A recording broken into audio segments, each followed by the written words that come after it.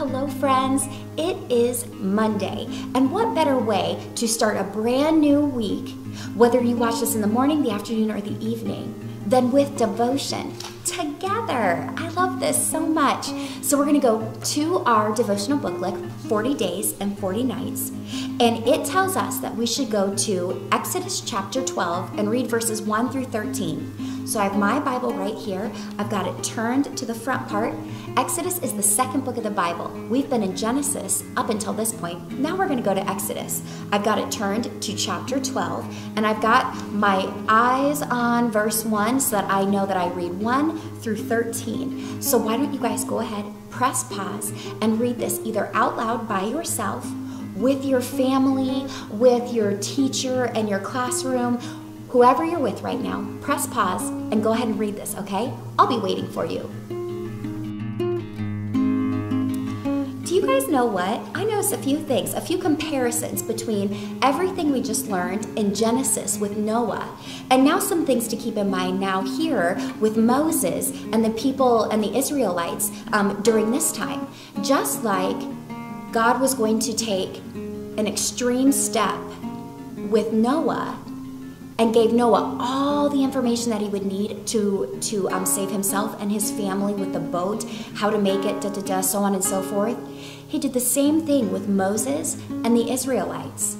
He was going to do something very extreme because of sin again, but he gave them exactly the right instructions and details to save to to protect them and and for God to save them. Isn't that wonderful? Does that for us today. He's given us this whole Bible. This gives us instructions on how to live our life. He gives us the Ten Commandments. He gives us the Holy Spirit.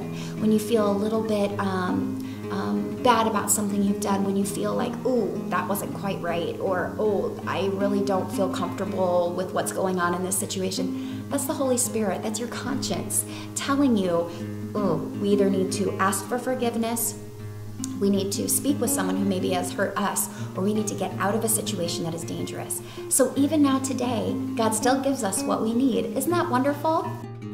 So the title of our devotion is What is Passover? Ellie looked at the calendar. The word Passover was close to the word Easter, you know, in those little boxes. I wonder what that is, she thought. God's children worked as slaves in Egypt. God chose Moses to lead his people to their new home. Moses told Pharaoh, God says, Let my people go. God sent horrible troubles to the Egyptians in the hopes that they would repent of their sins and turn to him. Pharaoh always said, No, you cannot leave. Then God sent the worst trouble of all. He told Moses that each Israelite family should kill a lamb and paint blood on their door. That night, an angel flew into each Egyptian home to kill the oldest son. When the angel saw blood on the door, he passed over the house of everyone and let them live. Pharaoh told Moses, You and your people leave now. The lamb's blood kept God's people safe. Jesus is the lamb who gave his blood for you. So, something to. Today and tonight, kind of go over this in your mind. How do Jesus' dying on the cross and Easter go together?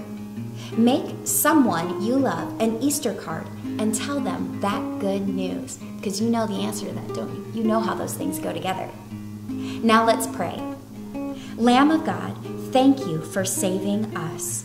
Amen. Amen. Okay, friends, I'll see you tomorrow. Bye.